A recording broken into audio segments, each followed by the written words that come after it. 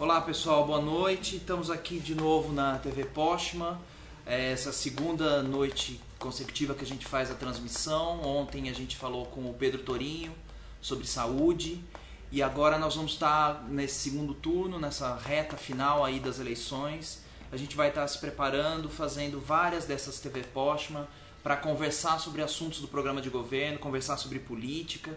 E hoje a gente vai falar sobre ciência e tecnologia, é, ciência e tecnologia em Campinas. Tem, um foco especial aí em cima do programa do Márcio sobre é, esse assunto. E temos aqui com a gente é, uma das pessoas que esteve envolvida na construção do, do programa, é, Rogério Bezerra, que está. É, temos na verdade duas pessoas aqui, mas uma delas o Rogério Bezerra, esteve envolvido com a construção do programa, é um especialista em é, política científica e tecnológica. E a outra pessoa que a gente tem aqui é o Claudenício Ferreira, que também é especialista em política científica e tecnológica. É, e nós vamos estar então expondo esse, esse programa de governo, conversando sobre ciência e tecnologia de uma maneira geral, não só sobre é, o que está ali no, no, programa de governo. É, pensando os, vamos estar aqui conversando sobre os problemas da cidade de Campinas nessa área. É, e aí a gente queria também pedir a participação de vocês, no mesmo esquema que foi ontem, é, participação aqui no chat, mandando perguntas, mandando sugestões de comentários, se manifestando. É, e aí, uma coisa que é, eu pedi ontem, e aí eu quero reforçar hoje de novo, que eu acho que é importante, avisar as pessoas que a TV Postman está acontecendo, avisar, mobilizar quem você conhece na rede para vir para cá, para vir conversar com a gente, para é, trazer perguntas, trazer dúvidas. A gente está numa parte agora que é muito importante da eleição, que é, é uma reta final, as coisas estão ficando cada vez mais acirradas, os ânimos estão acirrados e tem muita desinformação rolando. Então a gente está pensando em fazer a TV Postman também para isso. Não só para ouvir vocês, trazer a participação de vocês, mas também tentar trazer uma informação de qualidade para que quando você que é eleitor do Postman ou que você que está em dúvida e está é, ouve alguma coisa que se espanta, acha estranho, que você tenha uma informação de qualidade, possa também, não só para você, mas para conversar com os outros, para conversar sobre política nas ruas. É... E também as pessoas que estiverem aqui no, no chat, quiserem me passando os resultados do jogo do Palmeiras, eu também vou ficar bastante feliz com isso, porque eu estou aqui aflito, não é? Mas é, então é bom, podem comentar, só não vale tirar sarro se tomar gol, uma coisa que tem sido muito frequente nos últimos dias, mas. Ah, ô louco, ó, então, tem muitos anti-palmeirenses aqui. É, então a gente vai estar conversando sobre esses assuntos. Eu queria passar primeiro a palavra para o Rogério, para ele falar um pouco do, de, de como foi a preparação do, do programa né? Como é que foi esse processo e o que ele acha que eu acho que tem de mais fundamental ali e tudo mais. Primeiramente, né, agradecer aqui a organização dessa TV Postman, né? Agradecer ao Rafael pelo, pela oportunidade, né, que tem aberto a várias pessoas, né, que estão envolvidas com a campanha do Postman, de poder falar um pouco a respeito do que está sendo todo esse processo. Agradecer ao Claudenício aqui, o companheiro de bancada, né? de sofá. Agradecer a todas as pessoas que estão nos acompanhando essa noite, né? Sobre o programa de Ciência e Tecnologia, o programa de governo para a área de Ciência e Tecnologia do POSHMA, né? Esse, esse programa ele começou por meio do setorial de Ciência e Tecnologia e Tecnologia de Informação e Comunicação do PT, aqui de Campinas, que congregou diversas pessoas envolvidas com o tema, pessoas ligadas ao sindicato dos pesquisadores, ligadas às universidades, PUC, Unicamp, é, CTI, Sempra. Então envolveu uma gama muito grande de pessoas que trabalham na área de CIT né, para construir essa proposta para a área de CIT do Postman.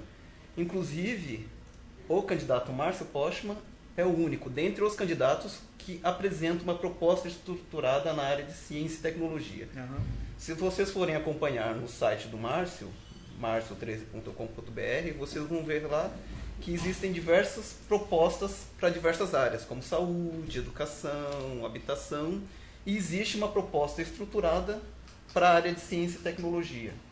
E saliento distinto do que fez, do que fizeram os outros candidatos, que só apresentaram um parágrafo acerca do que da importância da ciência e tecnologia para os processos ou para as políticas públicas da cidade. O programa de CIT do Márcio pode-se dizer que ele está dividido em dois, duas partes, basicamente. Uma primeira parte, que é um diagnóstico sobre ciência e tecnologia na cidade de Campinas. E um pouquinho desse diagnóstico ele mostra a pouca relação que existe entre o potencial de CIT do município, que eu chamo de potencial de CIT, a pouca vinculação entre os institutos de pesquisa, universidades, com a cidade em si e com os setores produtivos, sobretudo, né? Então, é isso que esse diagnóstico mostra. E a segunda parte é aquilo que o candidato, ou que, junto com essas pessoas que apoiam o candidato, visualizam como propostas passíveis de serem implementadas para reverter esse quadro né, de pouca vinculação entre o potencial de CIT e as necessidades da sociedade. Né? Essa segunda parte, em que são apresentadas propostas, são, são apresentados três conjuntos de ações para a área de ciência e tecnologia. Um primeiro conjunto de ações está voltado à economia social. É, um segundo conjunto de ações ao fortalecimento do potencial de técnico-científico do, da cidade ou do município de Campinas como um todo. E um terceiro conjunto de ações voltado à modernização da gestão pública de Campinas. Basicamente, o que esses conjuntos de ações eles apresentam é a importância que o governo Márcio pode mandar à ciência e tecnologia, ao, ao papel do governo para fazer com que esse potencial de CIT seja colocado ao serviço das necessidades reais da cidade. As necessidades da inclusão social, as necessidades produtivas. Então, o programa do Márcio Pocha tem de fundamental isso. Primeiro, o governo, Marcio, aliás, o governo Márcio Postman, né, pretende, é o único que apresenta de fato uma proposta estruturada para a área de CIT e apresenta três conjuntos de propostas que visam vincular esse potencial de CIT do município às reais necessidades do município. Então é isso. É legal. Valdenício, então eu queria que você fizesse seus comentários aí iniciais sobre o programa. Tá, vamos lá. Bom, antes de mais nada, boa noite a todos. E obrigado pelo convite para vir aqui falar sobre ciência e tecnologia. Uh, e isso é interessante falar em ciência e tecnologia num programa municipal, porque Campinas tem uma importância tão grande nesse setor e qualquer candidato que procure olhar de fato essa cidade tem que passar por esse setor. E quando eu tive a oportunidade de ler o. Bom, deixa eu dizer que eu estou aqui também como um trabalhador da ciência e tecnologia, eu sou funcionário do Ministério da Ciência e Tecnologia. E para mim é um tema importante. Uhum. Eu vivo isso já há mais de 10 anos. Nessa cidade, já passamos por diversas coisas que nos colocaram um pouco à parte da sociedade. E quando eu li o programa do, do Postman, o que mais me chamou a atenção foi a capacidade de fazer esse diagnóstico. De que há uma divisão. De um lado, quem faz a ciência e tecnologia que não consegue enxergar a cidade em que está. Eles, nós vivemos os problemas que a cidade tem, porque somos moradores daqui nós trabalhamos aqui, onde fazemos nossas atividades, e ao mesmo tempo eu não consigo ver, eu mesmo, na minha própria, no meu próprio dia a dia do trabalho, a capacidade de intervenção do que eu faço na minha cidade. Uhum. Tá? Então, esse diagnóstico que tem no, no programa do, do Márcio Postman, para mim é o grande diferencial. Inclusive, eu também li o programa do Jonas e lá não tem nada disso. Foi a, a coisa que. O que é o mérito de um programa, o grande mérito de um programa não existe no outro. Então, para mim, já, já começa aí uma grande diferença. Soa muito bem aos meus ouvidos quando eu, eu vejo isso lá. É, gostaria uh, de que e esses programas que vocês fazem são bons porque a gente faz um jeito diferente de fazer política. Vamos lá, vamos debater, vamos ver o que tem de bom para que as outras pessoas também possam conhecer. Eu sei que nem todo mundo vai ler o programa, mas eu acho legal esse papo porque a gente consegue colocar um pouco mais a bola no chão Uhum. e falar sobre o que realmente tem de importante ali. Então, obrigado pela iniciativa. Não, legal, obrigado. A gente que agradece você ter vindo aqui e lembrar que tem alguns, é, tem- a campanha tem feito uns algumas imagenzinhas que estão circulando no Facebook, na, no, no Twitter. É, essas imagenzinhas eu acho que são legais porque elas são mais ou menos que uma condensação, um resumo ali de partes importantes do programa. E acho que estou procurando aqui, vou tentar achar para ler uns pedaços da que tem sobre ciência e tecnologia que eu acho que ela é bem é, interessante. E aí pedir também o pessoal que está nas redes compartilhar essas imagens, quer dizer, é, trazer uma informação confiável sobre é, o que é esse, esse programa de governo. É, e aí eu queria, bom, primeiro deixa eu transmitir um abraço aqui. Que... Oi Rogério, estamos vendo você aqui do LEI, que é o LEI, LEI. é, do LEI, velho do, eu, do Instituto de Geociências. É, e aí trazer um pouco. Aí, aí tem uma outra pergunta aqui de um, um outro, uma outra pessoa. É, Olá, vimos nos últimos anos um descaso completo com as chamadas startups campineiras. Gostaria de saber quais as propostas para o suporte das empresas nascentes. É, Rogério, você quer comentar? Como Hum. o- o, o ah, não tem o nome aqui, não está identificado. Vou repetir. é, é, tem um descaso completo com as chamadas startups campineiras. Uhum. Queria saber qual é a proposta para suporte das empresas nascentes. Olha, vamos separar. é, antes de aterrizarmos no programa propriamente dito e na proposta propriamente dita do governo, né, do governo municipal, vamos falar sobre política de ciência e tecnologia num plano mais amplo para a gente Aham. entender melhor essa questão. É, existe é, isso é uma característica dos países de capitalismo periférico, uma desvinculação entre o potencial, entre os setores produtivos e o potencial de CIT. E isso se deve ao contexto de capitalismo periférico, em que as empresas não necessitam do potencial de CIT para se manterem competitivas. Para se manterem competitivas, como as fintechs, que são as pesquisas de inovação tecnológica do IBGE vem mostrando, para se manterem competitivas, elas recorrem a outros mecanismos que não a P&D, como é, compra de máquinas e equipamentos, sobretudo. É, quando a Pintec pergunta para as empresas né, inovadoras quais, é, qual a quais as principais estratégias de inovação utilizadas por ela, 80% é a compra de máquinas e equipamentos. Quando perguntado sobre inovação, é, sobre outros mecanismos de inovação, interação com a universidade, qual que é a importância desses mecanismos para, elas, para a competitividade delas, pouquíssimas, ou uma faixa aí de próxima a três, consideram como importante esses outros mecanismos. Né? Então, compra de máquinas e equipamentos é fundamental para essas empresas se manterem competitivas. Né? Isso no plano nacional. É, o que, que a política de CIT nacional vem fazendo em relação a, a isso?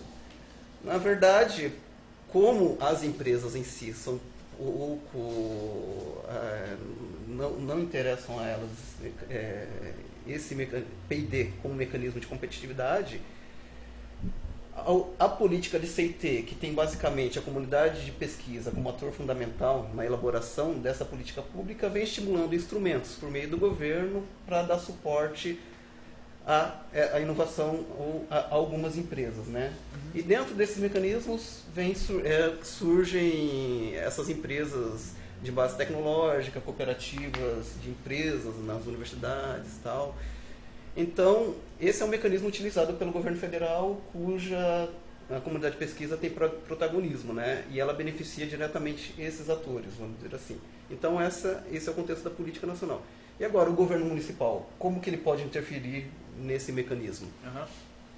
É, por meio da política de CIT nacional, pouquíssimo né, ele pode fazer. O que é, o governo municipal pode fazer em relação a isso, talvez seja utilizar de alguns dos seus mecanismos, como poder de compra, que possam viabilizar algumas dessas empresas nascentes nesse contexto. Né? Então, ah. vamos dizer assim, é o máximo que ele pode fazer. Né? O que é que ele vinha fazendo né? em Campinas? Né? O que, é que os governos passados vinham, vinham fazendo? É, vinham por meio de leis de incentivos fiscais, tentando atrair grandes empresas para serem instaladas aqui, e alguns outros mecanismos que incentivavam é, a instalação, é, a criação dessas empresas, né? Aí, por meio disso, foi criado os parques tecnológicos, tal, com grande suporte da comunidade de pesquisa, mas que pouco tem adiantado, né, uhum. para reverter é, esse potencial em um potencial produtivo de fato. Por quê? Novamente eu volto a salientar, por que isso não acontece, né? Porque CIT, o P&D não é uma estratégia de, é, de competitividade, né, das empresas. Então, o governo municipal em si pode atuar muito pouco nesse, nessa, nessa relação dessa vinculação entre o potencial de CIT uhum. e as empresas. O que o governo pode fazer em muito é tentar estimular outros atores que esses sim necessitam de CIT para se desenvolverem, que são os atores como empreendimentos solidários, são empreendimentos de economia solidária, cooperativas, que esses sim são atores que têm um foco produtivo, um, um âmbito produtivo uhum. e que necessitam desse potencial de CIT instalado no município para ajudar na sua competitividade. Então, esse é um dos focos de atuação do governo municipal. É, eu encontrei aqui o, o, o, quadro que eu estava comentando sobre é, a ciência e tecnologia. Eu vou ler, são quatro pontos só. Vou ler esses quatro pontos, daí acho que a gente vai discutindo até essa relação. Primeiro é promover a sinergia entre a política de uso da CIT, inovações e as políticas sociais. Acho que isso é uma coisa muito né, interessante, quer dizer, é, pensar a CIT não, não só de um, é, pensar ela ligada né, à questão das políticas sociais, que eu acho que é uma coisa séria, né? É, investindo em tecnologia social para o incremento da dimensão social da atividade econômica uhum. e para o aprimoramento permanente dos serviços prestados para a população em busca do bem-estar universalizado. Estimular a geração de conhecimento e novas tecnologias para o desenvolvimento socioeconômico harmonioso, sustentável, com inclusão social e com os profissionais da área de ciência, tecnologia e inovação. Estimular, em particular, o ensino sobre a relação entre ciência, tecnologia e sociedade na educação pública. Acho que isso é uma coisa, você não vai ver em isso outro, em outro, lugar. Uhum. É, e promover a discussão permanente acerca da orientação da política de ciência e tecnologia e inovação. Promover ações para aproximar o ensino profissionalizante, técnico e superior às demandas sociais, econômicas e ambientais da sociedade. É... Nosso... Manda, Claudenice. É, deixa eu fazer um gancho com a, com a pergunta do cara que você respondeu. É o Guilherme da, da Economia da Unicamp. Tá. Guilherme, Instituto de Economia da Unicamp. É o seguinte, é, eu vejo isso como alguém que trabalha num lugar que tem a proposta de um parque tecnológico. E já vi várias iniciativas que na cidade de Campinas nós temos, que são muito descoordenadas essas iniciativas. Apesar do bom trabalho feito pela Fundação Fórum Campinas, que une várias instituições de pesquisa aqui da região, é, várias iniciativas atomizadas, sem uma capacidade de coordenação e de grandes é, direções que um programa como o do Márcio pode uhum. oferecer, elas acabam ignorando a possibilidade, por exemplo, de juntar empresas de startup tecnológico, empresas que às vezes podem com pequenas doses de capital atingir uma demanda que é muito importante, uma demanda social, uma capacidade da, do, da prefeitura de dizer para eles, olha, vamos por essa linha aqui que a população da cidade precisa. Uhum. E nós vamos conseguir articular, alinhar vários interesses. Então eu acho que a capacidade de juntar uma iniciativa que é startup dentro dos parques, dentro das iniciativas de serviços tecnológicos da, das instituições de pesquisa de Campinas, com as grandes linhas postas pelo programa que podem ser adotadas no governo do, do Márcio Postman, eu acho que ela acaba alinhando tudo isso. Tá? Hoje eu vejo elas como muito atomizadas. E aí um vai para cá, um vai para lá, os esforços se perdem inclusive iniciativas de empresas de base tecnológica que em Campinas são importantes. Porque tem muita gente aqui que empreende apesar de tudo. Uhum. Isso aqui pode ser algo mais, digamos, coordenado, com a capacidade de extrair o melhor das pessoas que querem criar algo. Tá? Então é. eu vejo que é possível, dentro dessas coisas, principalmente das demandas de educação, tecnologia de informação para os cidadãos, tudo isso pode ser juntado e num, esforço grande com os atores que já existem. Por exemplo, a Fundação Fórum Campinas. É. Posso fazer um comentário? Fica, fiquem à vontade, vamos conversando. é isso aí. Pegando o que você está dizendo, é que nesse sentido, bom, o que, que competiria o governo municipal, né? Diretamente a ele nesse sentido. É, dar certas diretrizes ou certos direcionamentos acerca da demanda que o governo tem, né, o que, a, que ele identifica no, no âmbito da sociedade. Bom, qual que é o papel do governo? Bom, eu, governo, estou identificando que existem essas demandas no âmbito social. Essas demandas na saúde, essas demandas na educação e tal.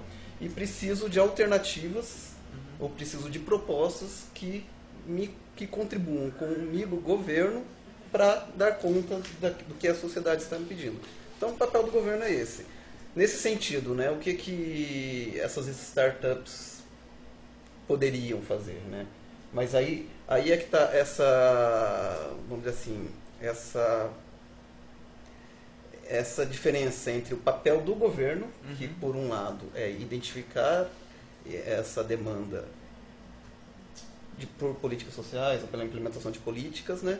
e falar assim, olha, eu tenho meu poder de compra, a sociedade tem essas necessidades e preciso dar conta disso. Mas até aí o governo chega. Até aí o governo municipal chega. Ele não tem como ele chegar e falar, olha, uma unidade de pesquisa, é, eu quero que vocês façam isso. Uhum. Olha, startup nascente nas instituições de pesquisas. Bom, se vocês querem se consolidar, ao invés de vocês pesquisarem, sei lá, X, uhum. Os sinais da, da sociedade estão apontando, não está apontando para X, está apontando para Y, Z e tal. Não é necessariamente o que vocês estão querendo fazer, que é o que eu quero. A sociedade está me pedindo outra coisa. Uhum.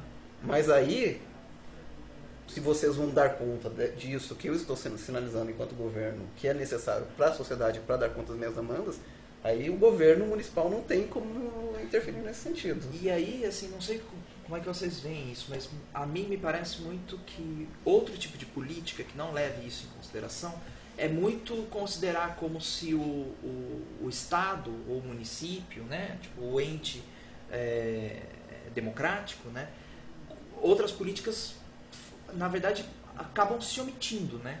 E eu acho que tem uma possibilidade que é muito pouco explorada, até não sei porquê, por questões ideológicas, etc., em que esse poder do, do Estado em se comportar de fato como um ator, né?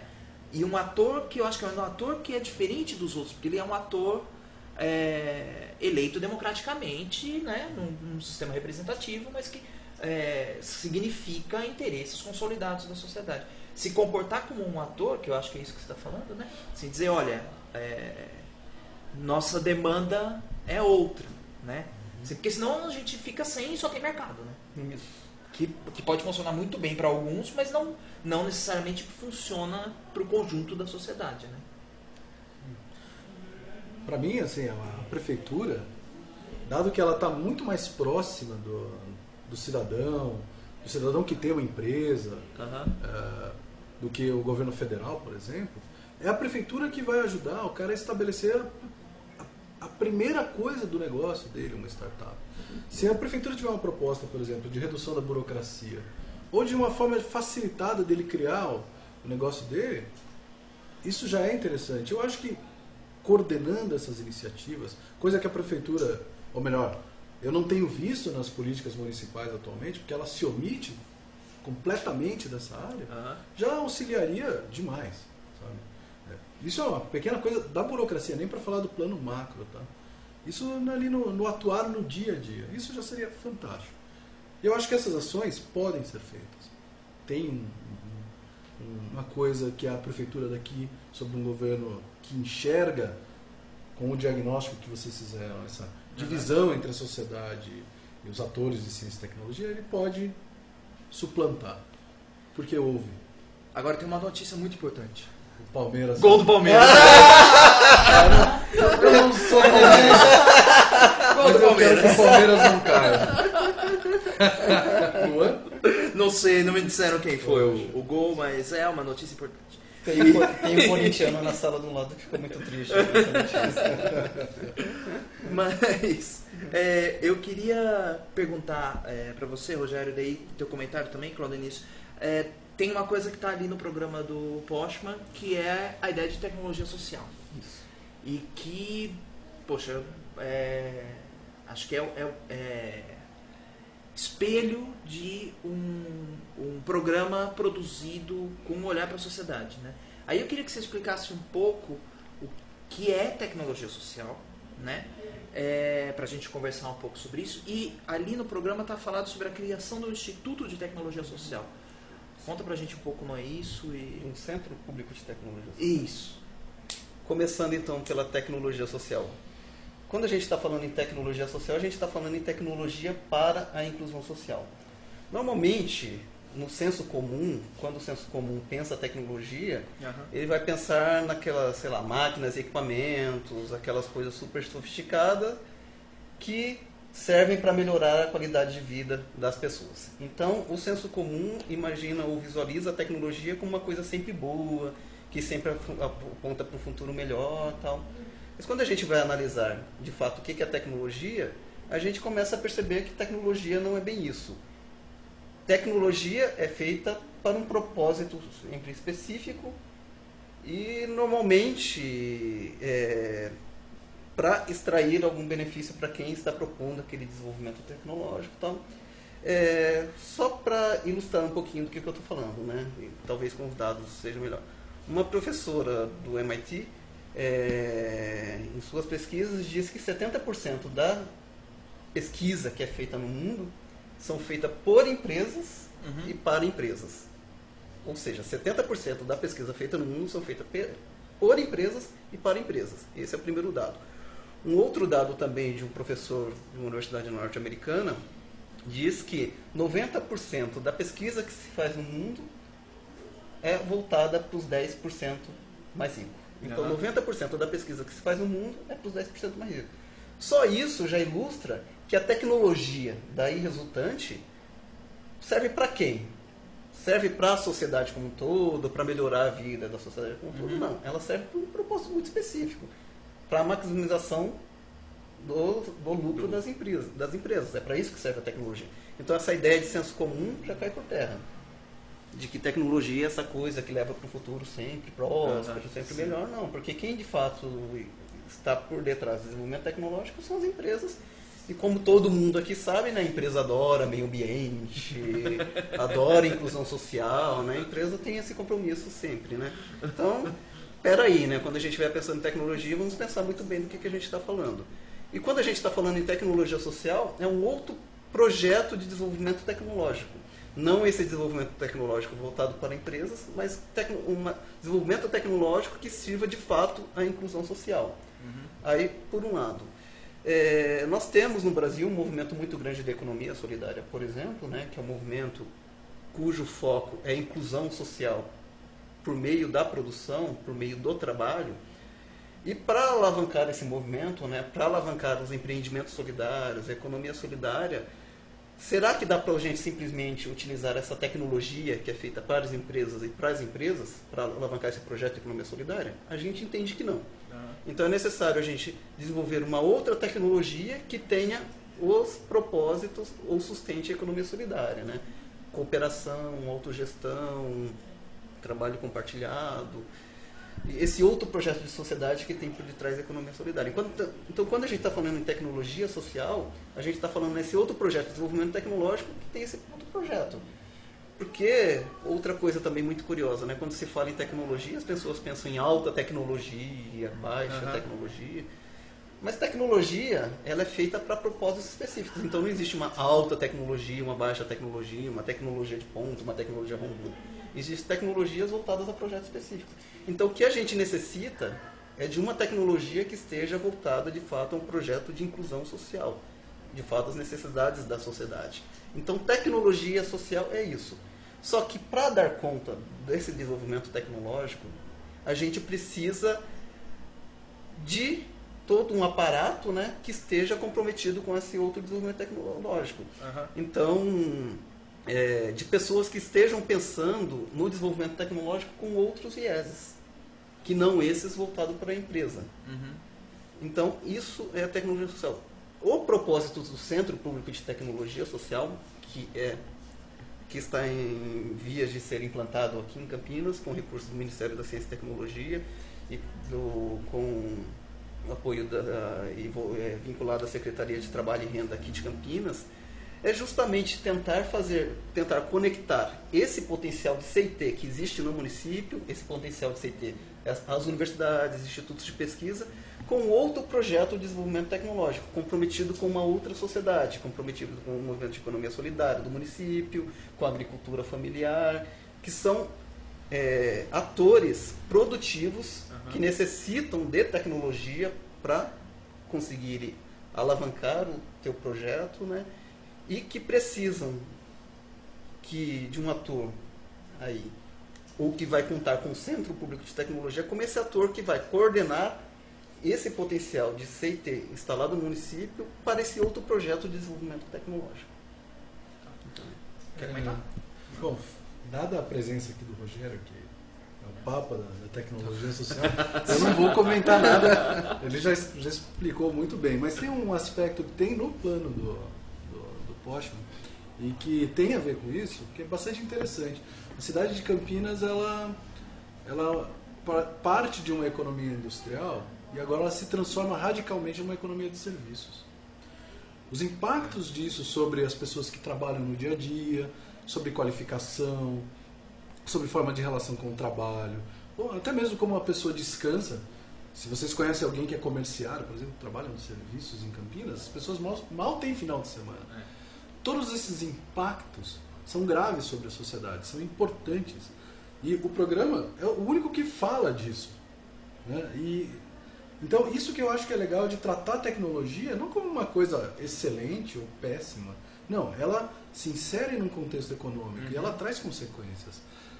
Lidar com isso, saber como as pessoas vão viver a partir disso, como elas vão se apropriar disso é importante. E no programa que eu vi, é o único que trata dessa coisa. Então, pensar esses mecanismos vão ajudar a que você tenha menos impactos negativos da adoção dessas tecnologias, dos regimes de trabalho conectados com isso. Então, foi até surpre... eu, eu sou um eleitor comum, eu não participei da elaboração. então, quando eu li, eu achei, pô, aqui tem alguma coisa que dá para pensar mais adiante em políticas públicas que vão lidar com isso daqui. Então, a ideia de tecnologia social eu acho ela mais interessante para é, trabalhar uma política pública para a sociedade do que se você pega somente e fala, bom, nós vamos incentivar a indústria de, de microeletrônica a se instalar em Campinas. Eu vi coisas assim, ah, nós vamos pegar e vamos fazer toda a coisa para os institutos públicos de pesquisa. Ótimo, mas e os impactos disso para grande parte da população dentro de um contexto econômico que exclui as pessoas? É. Então tem uma diferença de tratamento que já mostra como dá para se direcionar uma política para a maioria ou para a minoria. Isso é claro. É porque parece que esse, outro tipo de visão, uma visão que, que não leva em conta isso, ela parece que ela parte do pressuposto que tudo vem a reboque. Ou seja, se alguém. é, é, se você tiver prosperidade de uma alta classe, aquilo meio que naturalmente. Que é um pouco uma visão, né? do- direto a gente vê isso sobre tecnologia que quando a gente questiona, poxa, mas tal tecnologia ela tem um preço muito alto, e não sei o quê. Ela fala, não, calma, no futuro vai ser barato.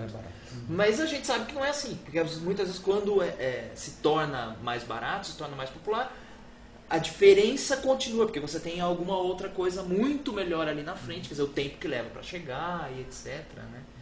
É, o gol foi do Betinho. Vou ler aqui umas. Cruzamento de Hernan Barcos. Está jogando.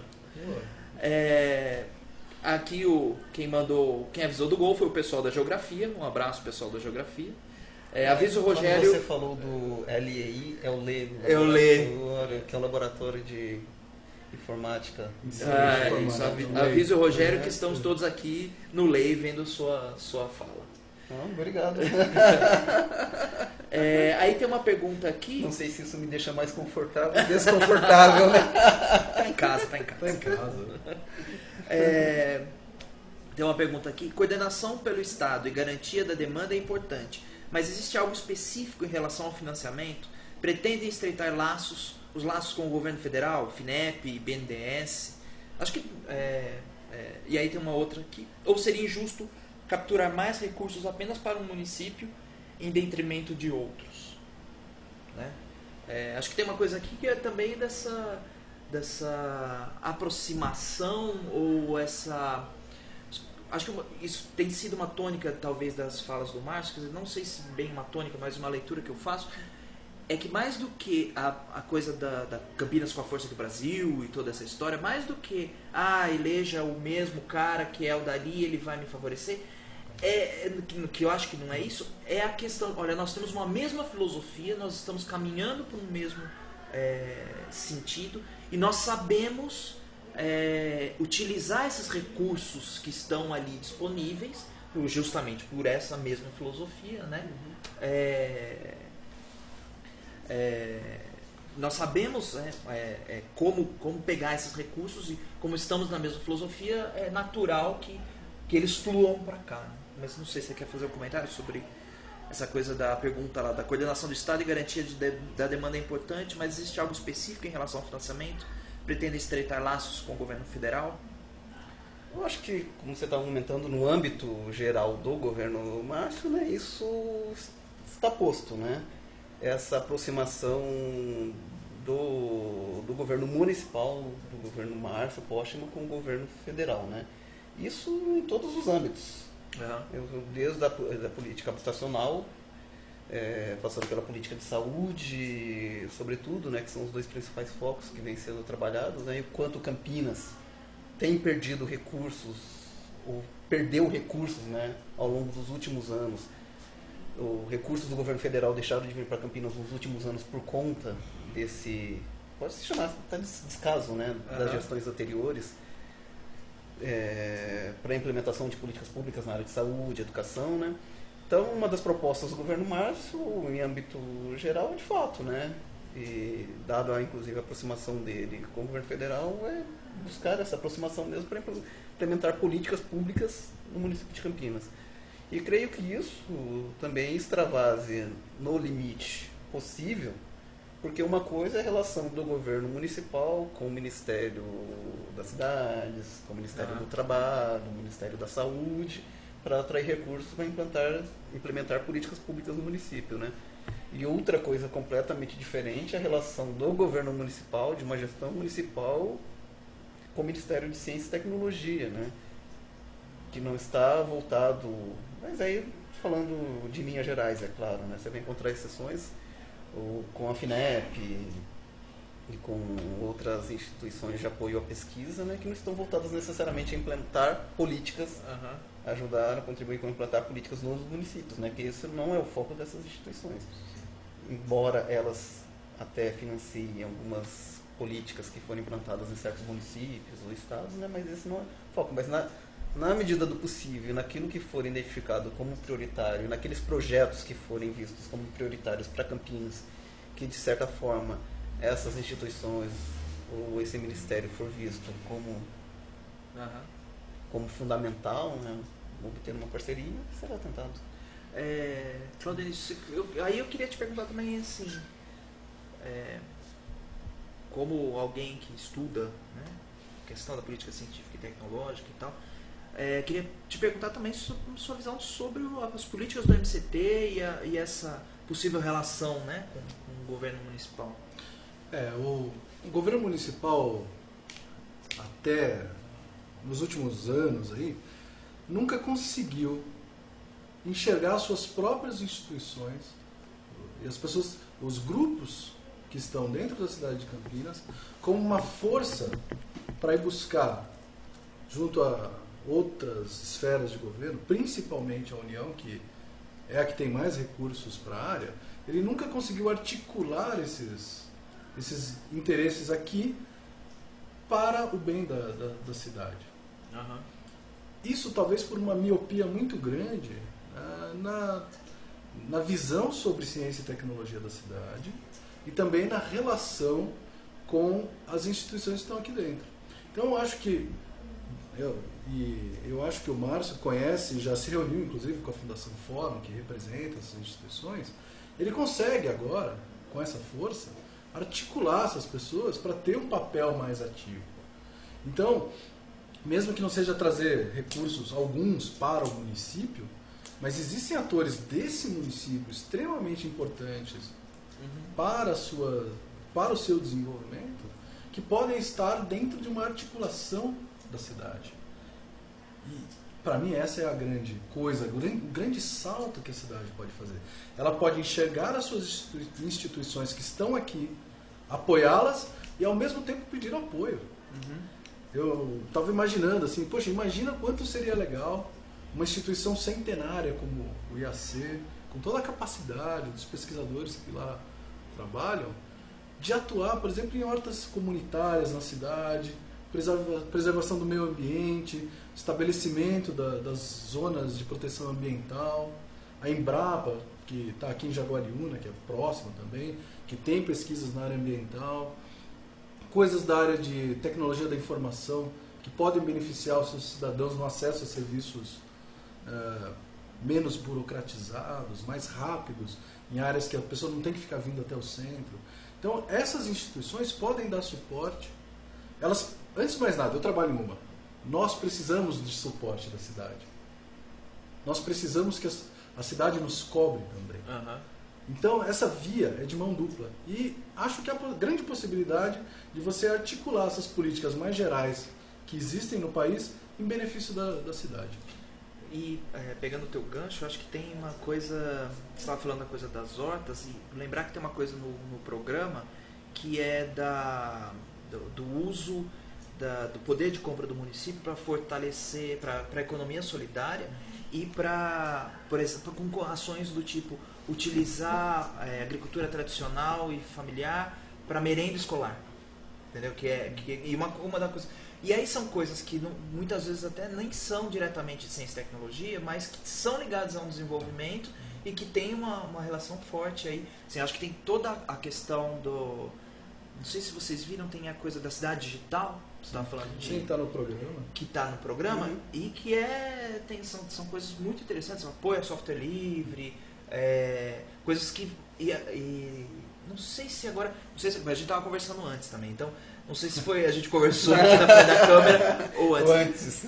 mas a gente estava falando da menção ao Toninho que tem no No começo no do- começo do começo do programa, programa, uhum. que foi alguém que começou, inclusive com políticas de informática e software livre aqui em Campinas, quer dizer, é isso há 10 anos atrás, né? A transformação da IMA, né, num, agente importante da cidade. Uhum. Para mim, a IMA é quase um paradigma do que pode ser feito com as outras instituições. Torná-la algo importante, algo da cidade, que atua no interesse do desenvolvimento local. E não do desenvolvimento só de uma parte da população, da grande parcela da população. Se hortas comunitárias podem ser algo importante para para ter alguma coisa da, da, da economia local, poxa, a gente tem a, a CAT, tem o IAC, É. então o Itaú para melhorar a qualidade de alimentos, tem tanta coisa nessa cidade que dá para articular e que acho que uma prefeitura que pensa nos, nos interesses mais amplos pode ajudar a fazer. Ah, tecnologia da informação para ônibus. Eu sou usuário de ônibus, tá? Eu pego ônibus, eu sofro nessa cidade. e, cara, tecnologia da informação que põe display para você saber o horário que o ônibus vai passar no ponto que você está, que o motorista pode não ter que correr tanto e fazer as pessoas se sentirem mal dentro do ônibus. Isso é algo fácil de fazer. Numa uma cidade como essa, que tem tanta inteligência. E são coisas que estão no programa, isso. sim! Então, sabe, tem coisas óbvias que somente políticos capazes enxergam. Pode parecer contraditório, não é o óbvio, às vezes não, não ninguém enxerga, tá? E em tecnologia é isso, simples para melhoria daqueles que podem se beneficiar de algo sem muita elaboração, sem essa maluquice de alta tecnologia. É, Posso? fica à vontade. acho que dois pontos aí que do, dos seus comentários, né, que eu gostaria de destacar. Uma sobre essa questão das, não vou chamar nem de demandas, né? Demanda envolve sempre o poder de compra em si do ator que está demandando, mas vou falar de necessidades como um todo, né? Porque aí a gente amplia o aspecto. Uma das características muito interessantes do dessa candidatura, Márcio Postman, inclusive que está refletida nas propostas, ou no, nos programas, né, se a gente pode dizer, nos programas de governo do Márcio, uhum. são os programas de governo, como eu já disse, né, na área de saúde, educação, é a ampla participação dos, de atores, né, ampla participação de atores da cidade na construção desses programas. Saúde, muito bem identificado, educação, tal, que colocaram a participação desses atores. O que, é que eles estão colocando nesse programa? São necessidades identificadas na, na cidade. São necessidades na área de saúde, necessidades na área de educação, tal, tal, tal. Então, o que está posto lá? Bom, temos essas necessidades. Então, de um lado, temos isso. E qual que é o papel do governo? Né? O que, que eles estão fazendo para o governo? Né? Estão sinalizando para o governo. Bom governo. É isso que a gente identifica como prioritário que você deve atacar. Então isso vai que deve estar no seu programa de governo. Qual é o papel do governo? Dar conta dessas necessidades. De que forma ele pode fazer isso? É, mas aí, aí nosso foco na ciência e tecnologia. Ele não pode dizer necessariamente chegar numa instituição de pesquisa, numa universidade que faz pesquisa e falar, olha, vocês vão fazer isso. Uhum. Não, ele não tem esse poder. Lógico porque a autonomia das instituições de pesquisa, das universidades, sobretudo, é uma coisa muito preservada e é o foco fundamental, é a estrutura fundamental dessa, da, dessas instituições, né? ou da comunidade de pesquisa. Então, chegar para ele, ó, oh, vocês vão fazer isso? Não. O que o governo tem que fazer? Olha, a sociedade está sinalizando que para ela é prioritário isso. E aí, por meio do meu poder de compra, e assim a gente está falando sobre demanda, né? Bom, eu tenho poder de compra, a sociedade precisa disso por, meu, por meio do meu poder de compra, eu preciso dar conta dessas necessidades. E aí, comunidade de pesquisa, institutos de pesquisa, vocês podem, por meio da pesquisa que vocês desenvolvem, dar conta disso. Uhum. Por quê? Porque como nós estamos falando sobre tecnologia, a tecnologia que aí está, que é feita para as empresas, para as empresas muitas vezes, não dão conta do que, do que a sociedade está necess, é, sinalizando como necessidade. Então, essa tecnologia que aí está no mercado, na prateleira, ela vai beneficiar uma empresa X, uma empresa Y, mas não necessariamente vai dar conta daquelas necessidades todas que a sociedade está apontando. Né? Então, é o primeiro desafio colocado, tanto para o governo quanto para as instituições de pesquisa. Por quê? Até aí, sinalizar que isso é prioritário e que o governo gostaria que as instituições fizessem é uma coisa. Agora, as instituições darem conta, falar assim: não, tudo bem, eu sei que essa é a demanda e eu vou me dedicar a pesquisar para dar conta dessa demanda aí ele não pode interferir. Então, uhum, qual é o papel? Sim. E o que, que o programa de CIT aponta? Né? É justamente a necessidade de vincular essa, essas duas pontas, demandas uhum. ou necessidades sociais, com produção de CIT, justamente para casar. Né? E o diagnóstico que o programa aponta de essa falta de conexão se deve muitas vezes a isso, né? Porque é a comunidade de pesquisa de um lado querendo pesquisar uma coisa que não necessariamente tem relação com as demandas reais da cidade. Então a gente vê uma cidade que transitou do industrial para o setor de serviços, que necessita de um entendimento grande acerca disso. Inclusive o Márcio é o único candidato a prefeito que eu conheço que se dedicou a escrever um livro sobre Campinas, uhum, para entender sim. Campinas, né? Sim. Um pesquisador, sobretudo, que tentou entender Campinas, né? Que estava tentando identificar o que, que é essa cidade de fato, né? Não simplesmente chegando lá e, ah, Bom, eu tenho essa solução, agora qual que é o problema, né? Que é muitas vezes o que a comunidade de pesquisa faz. Bom, eu entro para conversar com o prefeito, com o secretário, bom, eu tenho essa solução.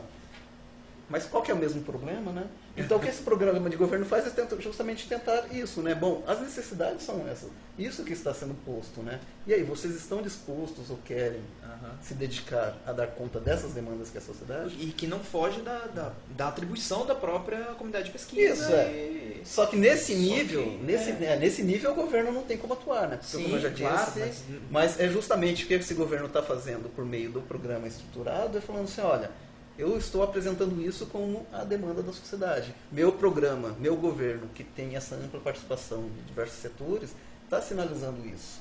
E aí? E, e, acho que, até pegando um gancho da. da você estava falando dessa divisão, que eu acho que é uma impressão que é, a, cidade mesmo passa, né? De que você tem. É, e isso vale para tudo, vale para a comunidade de pesquisa e vale para. Essa cidade parece muito. Ela tem um centro rico, áreas muito nobres e áreas muito pobres. E esses, essas, essas duas partes muitas vezes parecem mundos diferentes. Né? Parecem, e a, a cidade também tem vários centros de pesquisa, não é? E ao mesmo tempo, acho que um dado que o Márcio tem falado é alguma coisa que o analfabetismo funcional em Campinas é tipo 40%, 30%. Altíssimo. É, então, quer dizer, você tem é, tipo, aquela, aquela palavra que falava-se muito nos anos 80, acho, acho que já teve em algum vestibular que eu respondi alguma coisa, a Belíndia, que era Bélgica ah, e Índia, uhum. no, no mesmo, uhum. assim, é, mal comparando, lógico, mas você tem, né? É, daí eu queria conversar com vocês um pouco sobre isso, assim, é, como é que a ideia de CIT, universidade, centros de pesquisa, pode, pode contribuir é, para que essa diferença não seja tão é, aprofundada ou que, que esses benefícios que vive e, que, do que produz essa, essa parte é, é, rica e intelectualizada possa chegar né, para o resto. Você quer comentar alguma coisa? Uau, né? então, um probleminha aqui para você. Pra você, né? é pior do que o Palmeiras caindo para a segunda divisão.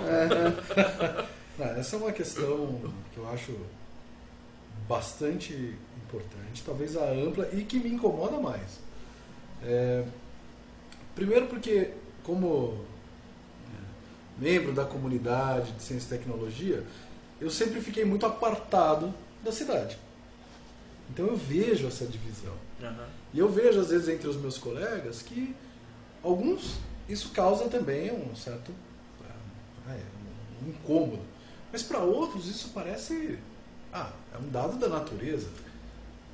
E isso incomoda. Talvez essa agenda da, de, dos pesquisadores, agenda das instituições, precise começar a receber um input ou uma, um incômodo do resto da cidade e dizer, viu, vocês fazem parte dessa cidade.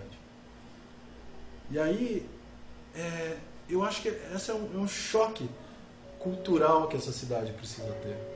É um choque da mudança, da lógica da separação, de como se faz algumas coisas aqui. Talvez isso esteja ainda um pouco no plano dos sonhos, talvez precisemos de uma liderança, que eu creio ser o Márcio, para colocar essas questões. Porque aí não é nem a, a questão do, do, programa de governo, é o que o cara tem de princípio e que ele vai falar, ah, pessoal, vamos mudar isso aqui. Está na hora de, de romper essa barreira. Eu acho que Campinas tem muito essa barreira. É uma pena que haja. Porque a capacidade que ela tem de se apoiar na sua população uhum. e através da, dessa, desse clima, dessa coisa que Campinas tem, poucas outras cidades no Brasil têm, de aproveitar o conhecimento geral e integrar mais a cidade, é possível. Mas é, para isso a gente precisa de liderança. De gente que fala, vamos sonhar. Tá? É. Não está tanto, acho que, no plano do é. Para isso eu tenho esperança. Então. eu sou uma pessoa né? otimista. E, e, até lembrando que o Márcio fala em, não sei se vocês viram isso, mas é, em ocupar o assento no Consul que da Unicamp, Consul, Conselho Universitário uhum. da Unicamp, que é uma instituição, acho que é a última, né, abaixo do, do, do reitor. É, Para algumas questões ela é soberana. É soberana. É, exato. Uhum. É, ocupar esse assento que é a Prefeitura de Campinas ela é acima do reitor, estamos aqui, produção, ah, é. acima do reitor. Tá. É, ocupar um assento, a Prefeitura de Campinas tem direito a um assento no Consul, que vem sendo, parece que quem estava ocupando era a mulher do Hélio. Adivinha quem ainda, né? É, quer dizer, vem sendo mal ocupado. E antes tinha sido ocupado pelo Toninho. Não sei se pessoalmente, mas quer dizer, e aí o Márcio fala hoje em, em ocupar é, de novo esse, esse assento, quer dizer, fazer a, a coisa dialogar, né? Uhum. É, quer comentar alguma coisa? É, então, é, aqui tem mais uma pergunta que chegou. O CTI é um polo de produção de tecnologia do governo federal em Campinas, ou seja, público, mas os campineiros não sabem disso. O que fazer para aproximar estes grandes centros de tecnologia do campineiro? A gente tem falado isso, mas se vocês. pergunta? Da Artemis. Ah, Artemis é minha colega lá no, no CTI. Ah, olha só. É, não sei se. é, ah, se. Ah, olha aqui, tem mais outras perguntas. Vamos lá.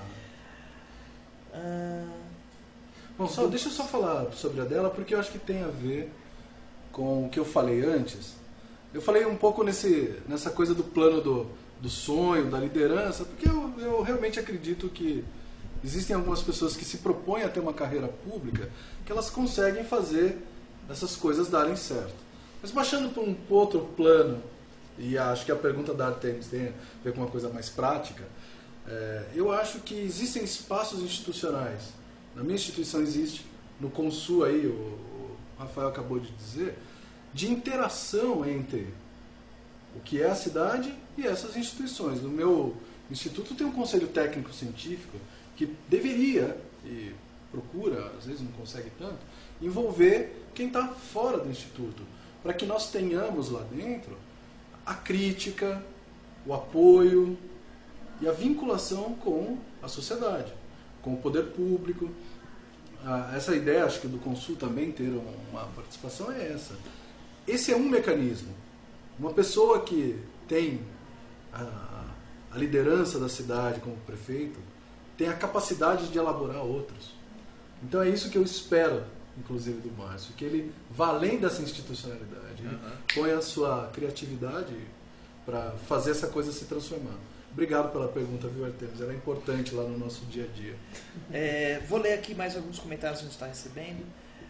É, tudo bem, mas enquanto o Estado não aumentar o volume de capital disponível para quem for responder aos sinais do Estado em relação às demandas sociais para desenvolver as tecnologias sociais, é, acho que cortou a pergunta. Aí a mesma, a mesma pessoa comenta: todo mundo na Unicamp vai continuar seguindo os sinais de mercado, pois é lá que se encontra o capital no mercado. E aí eu acho que lembrar um pouco que é, tem a questão do orçamento que estavam falando da Prefeitura de Campinas, que é um dos. O do próximo ano vai ser um dos maiores que já teve. Ontem o Pedro Torinho estava aqui comentando sobre saúde e eu não sei se. Acho que foi ele que estava comentando isso. É, é, há 10 anos atrás o orçamento para a saúde era muito baixo. Por causa do FHC, etc, etc, etc. Estou falando da primeira gestão, primeira gestão, da gestão mais anterior do PT aqui em Campinas. E agora o, cenário é outro. Na verdade, você tem um cenário de crescimento, etc. Que você tem, uma possibilidade de investimento. é, Umas perguntas muito, Muito- boas, né, é. cara? E aí Gostei. tem mais aqui dos geógrafos. Ah, Posso responder, a- pode. comentar essa, essa pergunta, né? Porque, de certa forma, o que quem fez esse comentário está né, tá dizendo o seguinte. Bom, as instituições de pesquisa se voltam ao mercado porque é o mercado quem financia a P&D desenvolvida nessas instituições, de um lado, e de outro, bom, se o governo quer que essas instituições façam pesquisas que atendam às demandas sociais, então ele também tem que aumentar o volume de recursos. Bom, traduzindo é isso que essa pergunta quer dizer. Vamos analisar o que de fato acontece com a política de CIT e com essas instituições de pesquisa, né? Bom, será que elas estão voltando? Será que a comunidade de pesquisa está voltando as suas pesquisas para o mercado? Porque é o mercado quem financia a P&D dessas empresas, que é o mercado, as empresas que financiam a P&D desenvolvida pelas nossas empresas? Não. Se a gente analisar somente a Unicamp, vamos dizer assim, isolar o Aham. caso Unicamp, e se é assim com a Unicamp, imagina com as outras instituições. 92% da receita de pesquisa, aí eu estou falando só de pesquisa, não estou falando da receita total da universidade. 92% da receita de pesquisa, e vem aumentando, é financiada pelo Estado. São Aham. recursos públicos.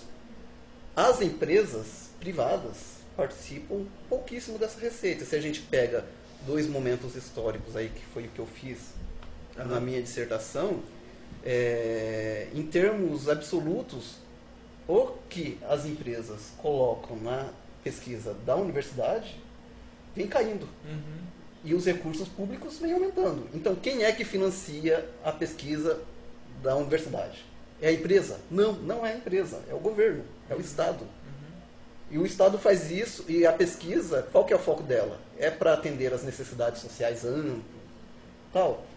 Na pesquisa que eu estou desenvolvendo agora, é, atualmente, eu venho identificando que, embora seja o Estado que financie a pesquisa e os recursos públicos para financiar a pesquisa venham aumentando, ao contrário do que muitas pessoas acreditam, a maior parte daquilo que se pesquisa nas universidades públicas são voltadas para atender às necessidades da empresa. Ou seja, você tem de um lado recursos públicos para financiar a universidade. Que, na verdade, estão financiando que... o setor privado. Mas é a empresa que está interferindo diretamente nisso? Não, se você pergunta para as empresas, né, que algumas pesquisas já fizeram isso, né? Qual que é a importância, inclusive a Pintec, né, que eu citei no início da nossa conversa, qual que é a importância das instituições de pesquisa para a sua competitividade? Quase nenhuma, quase nula, quase próximo de zero. Então, que curioso isso, né? As instituições públicas de pesquisa estão voltando suas pesquisas para a empresa, de outro lado, as empresas declaram, e esses dados são públicos, que as instituições de pesquisa são pouquíssimo importantes para os Não tem um dado. Então, quem é que está é, direcionando sua pesquisa para a empresa? É a própria comunidade de pesquisa, que uhum. utiliza desse instrumento para conseguir aumentar os recursos públicos voltados essa pesquisa. Então, é, acerca do comentário, vamos ponderar. Ela né? usa um chaveco de Isso, mercado. é. Então, é, falar que para instituições de pesquisa voltar o seu foco para aquelas pesquisas demandadas ou que atendam às necessidades sociais, é necessário que o governo aumente também os recursos voltados a isso, é, é meio que uma falácia, vamos dizer assim, né? Porque quem financia de fato a pesquisa das universidades é, o, é, é os recursos públicos. Aí, Agora, só uma coisa que me espanta é que a prefeitura de Campinas, geralmente governos estaduais, não tenham a capacidade de intervenção nesse debate. Porque elas falam, não, esse assunto não é comigo. Aí você vê lá o governo federal tem linhas para investimento em pesquisa assim, assado. Você tem governo estadual com a FAPESP. Você tem todo um tecido na cidade que trabalha com isso e a prefeitura se omite. Ela não tem a capacidade de intervenção nesse debate. Para mim, isso é mais escandaloso numa cidade como Campinas, que tem pessoas que se formam em política científica e tecnológica, por exemplo, fazer a propaganda da nossa instituto. Não, mas existem pessoas qualificadas em diversos níveis aqui, Sim. tanto na, com estudo, com trabalho direto, que são ignoradas pelo poder local. Campinas era uma das cidades que era para ter voz ativa no Brasil, para propor coisas. Coisas como essa, olha, não é só financiar demanda, ou melhor, o que a empresa diz que acha que vai fazer. Vamos financiar outro tipo de coisa. Campinas tem a capacidade de refletir e levar esse debate adiante. Então, para mim é escandaloso que Campinas não una esse conhecimento, esses atores aqui para fazer essa intervenção no debate mais geral. Espero que mude isso preciso encerrar porque nós estamos estourados cinco minutos eu nem vi. Nossa, assim? Eu vou. É, eu sei que está estourado, mas. Porque a ideia nossa é ter a TV Postman fazendo um esquenta para o horário eleitoral. Hum, e que tá. no horário eleitoral as, as pessoas também tweetem, comentem hum. e levem isso para frente. Vou, vou pedir para vocês falarem rapidinho no final, mas aí eu queria fazer um, um comentário, uma provocação porque eu prometi para algumas pessoas que eu ia falar isso, que eu ia falar mal do Brito Cruz. Então.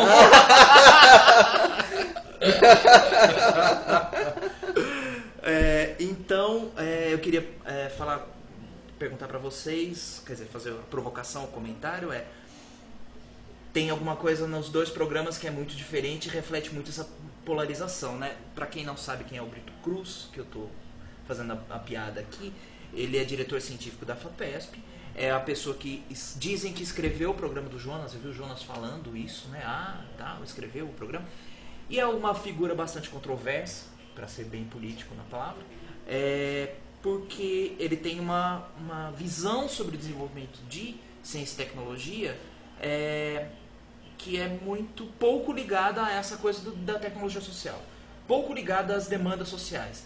É, é uma visão que me parece ser muito a da, do topo da pirâmide.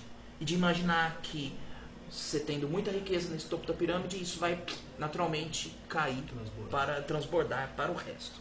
É, é essa minha. Dá pra meu-? Nossa, Não, mas que- fiquem à vontade, se virem. Tô brincando, não. Fiquem. bom, eu Falem o quanto acham que devem falar, Falar, porque a gente não olha, tem essa. Dado o ambi- ambiente até bastante informal, eu vou procurar ser mais informal com isso também e meio rápido. Que eu tenho visto ultimamente em algumas abordagens de ciência e tecnologia, de alguns próceres, líderes aqui da cidade, é que eles tratam esses ambientes como se fossem condomínios. Eles constroem um muro bem grande. Quem está lá dentro durante o horário é, habitual entra, mostra o seu RG e sai. É uma visão que divide, é uma visão que não integra com o que realmente existe. Eu acho uma visão equivocada. Isso tem levado algumas instituições importantes dessa cidade a um apartamento cada vez maior da sociedade. E é um grande erro que eu acho que a gente está cometendo. O programa do Márcio vai na direção oposta a isso, no próprio diagnóstico do problema e nas ações que ele propõe. Então, para mim, isso é uma questão de, de como se vê o mundo e do que se propõe para ele. Tem uma diferença grande entre um e outro. Não convivem as duas soluções. Então, não vou citar nomes, para mim é isso. Tem uma diferença grande e aí, se você pegar os programas, dá para ver isso daí. Eu me alio a uma outra. Eu me alio a uma que não tem muros. E uma onde você pode integrar as coisas, você consegue dialogar com pessoas diferentes e é daí que vem a riqueza do, do conhecimento. É, eu poderia comentar isso da seguinte forma, né? A maior parte das pessoas, assim como concebem a tecnologia como essa coisa que sempre leva para o futuro melhor, também tendem a atribuir à comunidade de, de pesquisa, aos pesquisadores, um status superior, né? Como se fossem pessoas desprovidas de qualquer ideologia, né? De qualquer valor, como se as pessoas que fizessem ciência fizessem ciência, não tivessem valores, né? não tivessem vinculação partidária. Mas é, ideologia é como mãe, né? Todo mundo tem a sua. Só que alguns não têm vergonha da mãe e fazem questão de dizer essa é minha mãe, né? Apresentam a mãe.